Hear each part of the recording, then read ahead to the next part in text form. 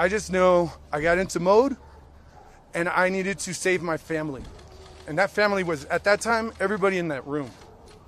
Um, and that's what I, I, I was trained to do. I saw him and I went and got him. And when I pulled him down, I, I, I, I told him I was hitting him. I, I want to kill you, guy. He killed, he killed a family member. I, I, I'm, I'm an emotional guy, but I also, you know, I, I try not to be that, you know.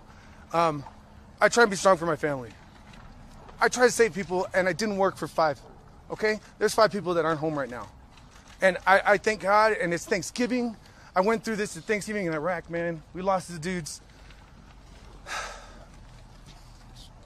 I really hope people kind of use this and, and shake someone's hand, give someone a hug, give them a kiss.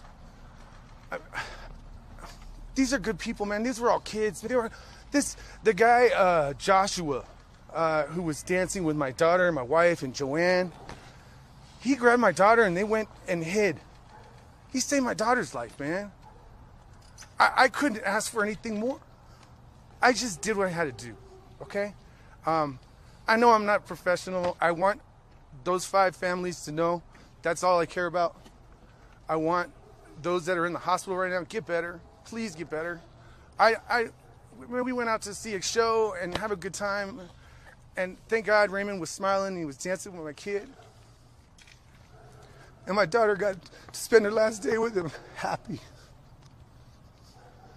And that community, I love that community.